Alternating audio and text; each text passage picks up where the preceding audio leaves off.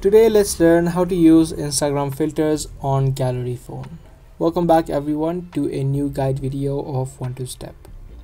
If you want to add in Instagram filters to your existing photos from your phone then in this video let me show you how it's done. Now before I move on and show you make sure you subscribe to our channel and also hit that notification bell so you get notified for more interesting videos. With that said let's get right into it first of all open up your instagram app and tap on the your stories tab on the top left. And once you're on the your stories tab in order to add it to the photos from your gallery you'll firstly need to save those filters that you want to add in.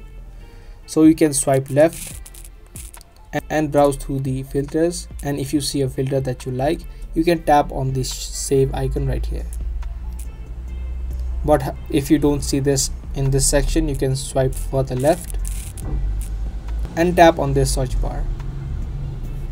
Through this section you can browse through all of the filters that are available on Instagram and similarly you can pick any filter and tap on the save icon right here. Now once these filters have been saved you can now tap on the stories option again and select the photo that you want to add in the filter to. Through this section you need to tap on the stars icon that you see on the top once you tap on it this is a filter section and you can see these are the filters that you just saved. Selected you can see the filter will be applied to the photo from your phone. And there you go. That's how exactly you can use instagram filters on your gallery photos.